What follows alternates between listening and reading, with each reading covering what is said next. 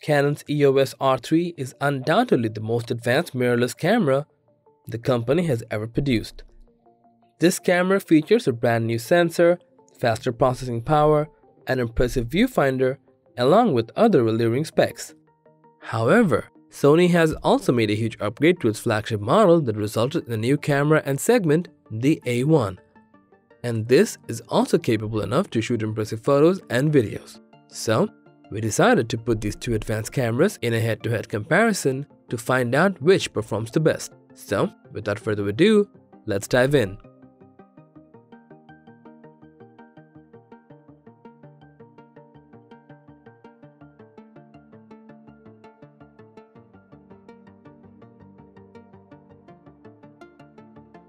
Let's start by talking about the sensors in these two cameras.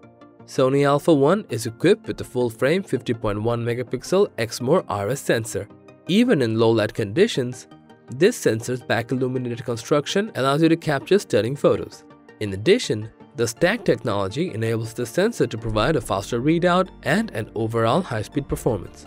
Canon R3 on the other hand, comes with a 24 megapixel BSI full-frame stacked CMOS sensor we believe Canon is more focused on speed with R3. So the sensor is lower in resolution. As a result of the lower resolution of full stack sensors, the R3 would have even faster sensor readout speeds.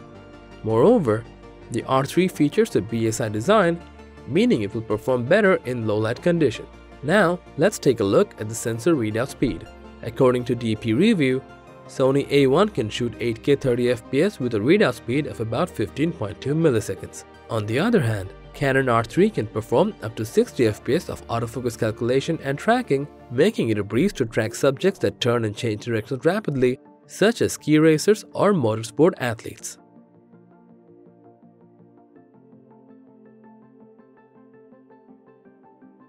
Sony's A1 is an excellent camera for stills. Thanks to its high-resolution sensor, it can capture images with adequate detail. In addition, the fast readout speed also makes it possible to capture photos without distortion. Besides, you can capture 30 frames per second with full autofocus and complete exposure with the fast BIONZ XR processor. Hence, it can not only be used for landscape photography, but also packs the capability to shoot sports and wildlife scenes. Nevertheless, you can also store 155 compressed RAW images per burst on the camera's large buffer memory. In contrast, Canon R3's ISO range is broader, ranging from 100 to 102,400. This lets you shoot at higher ISO numbers without sacrificing image quality. It's also possible to shoot 14-bit RAW files in lossless mode and compressed mode. When recording at 30 frames per second, the R3 can also record up to 540 JPGs and 150 RAW files. In terms of video, Sony's Alpha 1 is capable of shooting 8K videos at 30 frames per second at 10-bit 4x2x0. They're all oversampled from 8.6K footage, so the quality remains quite high. However, you can shoot 4K videos at 60 frames per second if you'd like to shoot at 10-bit 4x2x2. Additionally, it can shoot slow motion videos at 120 frames per second in 4K. The heat dissipation technology also allows you to shoot at the highest resolution for up to an hour. As for the R3, it can shoot full width videos in 6K RAW at 60 frames per second. You can also record oversampled 4K videos at 120 FPS with the camera to have more details in your footage. Also, the R3 will allow you to record 10-bit HDR footage with PQ curve.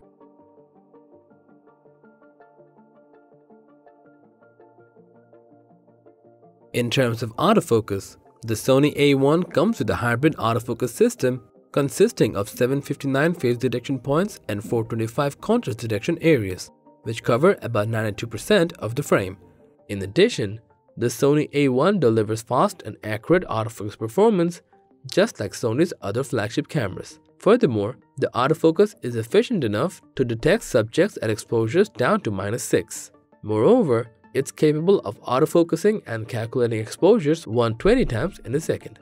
As a result, the A1 is able to detect humans, birds, and other animals without much difficulty. The body and eye detect autofocus ensure that your subject is always in focus. It's also equipped with a 5-axis in-body image stabilization which smooths out your footage up to 5.5 stops. On the other hand, The R3 uses the dual pixel CMOS 2 autofocus system, which offers incredible performance with 1053 phase detection autofocus points spread across the entire sensor. As a result, the entire image sensor can be used as an autofocus sensor, making the whole process faster, more responsive, and more accurate.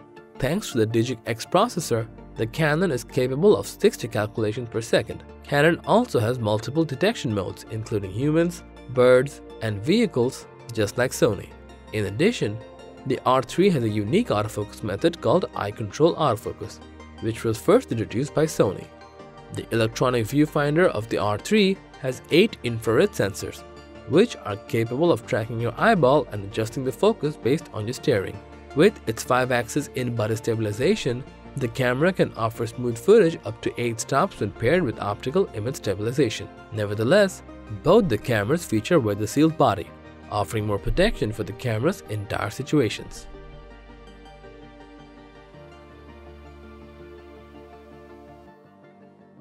The Canon R3 features a 2700 mAh battery which can take 860 shots with the LCD touchscreen and up to 620 with the electronic viewfinder per charge. Comparatively, the Sony A1 has an NP-FZ100 battery that can take 430 images or 90 minutes of video once fully charged.